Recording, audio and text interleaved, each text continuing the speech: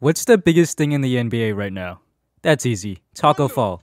But seriously, everyone's been talking about Klay's return like Jesus Christ himself has come back to suit up and shoot threes. But the attention is well deserved. And you know Warriors fans like me love hogging attention. Anyway, the Warriors are up 7 with 3 to go in the half. The big guy himself, Klay Thompson, kind of recently checked in, if I remember correctly. Most of the time when I'm watching Warriors games, my primitive mind goes to happy when up and mad went down. But I'm pretty sure he just checked in. Curry biting his towel like a completely normal person. Ooh, a little penguin waddle. Otto saves the ball, but goes through the tunnel of Jarrett Allen's knee. He's okay.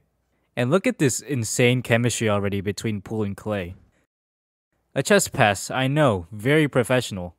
Now, I wasn't expecting Klay to have any ounce of athleticism, to be honest. I wouldn't have been surprised if he had the hops of old grandma, let alone come back in his first game and touch the rim. But he gets Jarrett Allen reaching, which is a big no no if the ball handler actually keeps the ball for the defense. Three big guys surround him, and he unleashes a poster on Lauri Markkanen and Lamar Stevens. Side note, Lamar played very well in this game. Shout out to him. Klay made $84 million off this single play. I don't care that he was injured for two years. This means everything. We're going to the Super Bowl! Klay comes down to court flexing. Steph.exe stops functioning. Never mind that he travels on the next play, the man dunked. He unloaded the whole chamber on these guys. Now, time for some boring analysis. People shouldn't be expecting him to be catching bodies anytime soon. He still got a hops, but he jumped off his left, the leg with the ACL injury, not the Achilles one, which is on his right.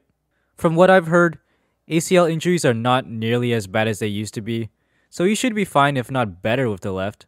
I don't really expect to see him jump off solely his right. It's gotta be either left legged or two feet. But still exciting. Return of Headband Klay. He's been snarling like this the whole game. What's up, Jordan?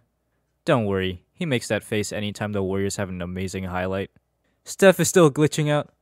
Overall, good stuff. Warriors win.